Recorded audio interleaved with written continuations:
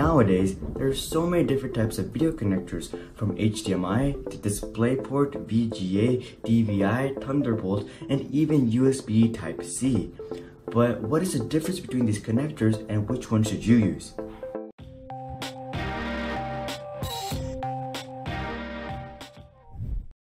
Welcome to Hari's Hobbies. Starting off with HDMI or High Definition Multimedia Interface which is the most common cable out there. HDMI is present in pretty much all monitors and TVs and is often one of the easiest to use because it does not have any screws on either side. Furthermore, it is cheap and it carries audio. For most people, this should be their first choice. The only scenario in which HDMI may be limiting is if you have a 4K 60Hz monitor but your video source only has HDMI 1.4. HDMI 1.4 only supports up to 30Hz at 4K. But as long as you have up-to-date connectors and cables, you should be good to go with HDMI. The only place that HDMI may become an issue is at high resolutions and high frame rates. DisplayPort adoptions are very slow and lagging in the TV market, but pretty much all monitors nowadays have it. It is in an upward trend due to its high bandwidth, which allows for high refresh rates and resolutions, which is perfect for gamers. DisplayPort 1.2, the most common type, supports up to 144Hz at 1080p and up to 60Hz at 4K. DisplayPort 1.2, the most common type, supports up to 240Hz at 1080p and 60Hz at 4K. Newer standards like 1.3 and 1.4 push it even further, reaching 120 and 144Hz at 4K. DisplayPort is a favorite amongst gamers due to its support of Adaptive Sync.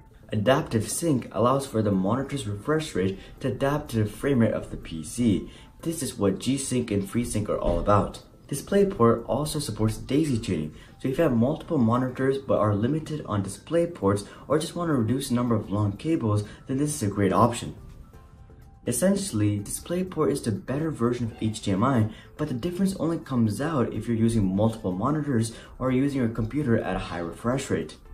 Otherwise, HDMI and DisplayPort are pretty much identical, even in price.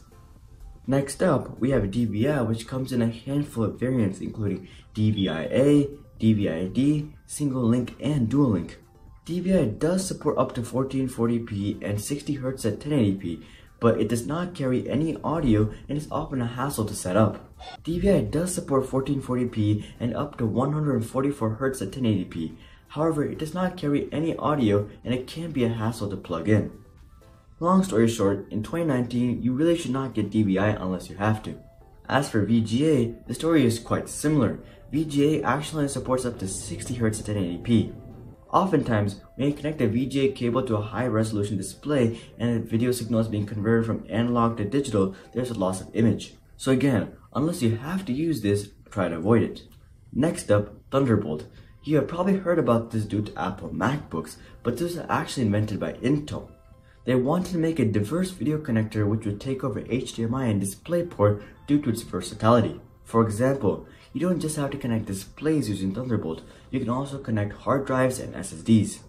However, at this point in time, it really just isn't that common and doesn't pose any serious benefits over HDMI or DisplayPort. It can pass audio and has higher refresh rates usually compared with HDMI, but it is not superior to DisplayPort in terms of refresh rates. Finally, USB Type-C is a more recent addition to the type of video outputs available. It is often very useful with laptops because it carries video, audio, and power. However, USB Type-C does not support adaptive sync like DisplayPort does. USB Type-C is more of a convenience cable designed to reduce hassle with just one single cable. Now that we have covered all the main connection types, which one should you go for? Well, pretty much for everyone, HDMI or DisplayPort is the way to go. USB Type-C may be useful if your monitor supports it and you're going to be using it often with the laptop. But as for DisplayPort versus HDMI, go with DisplayPort if you are using a multiple monitor setup or you would like higher resolutions and refresh rates. However, if you are not looking for anything specific like that, then just go with whichever one is cheaper because they're pretty much identical. But that's just what I think. What do you guys think? Do you guys think that DisplayPort is the future and that HDMI will slowly die out? Make sure to comment down below. Also, If you guys liked this video and thought it was helpful, then make sure to drop a like and consider subscribing if you'd like to see more videos just like this one. But until then, I'm Hari, and I'll see you guys on the next one.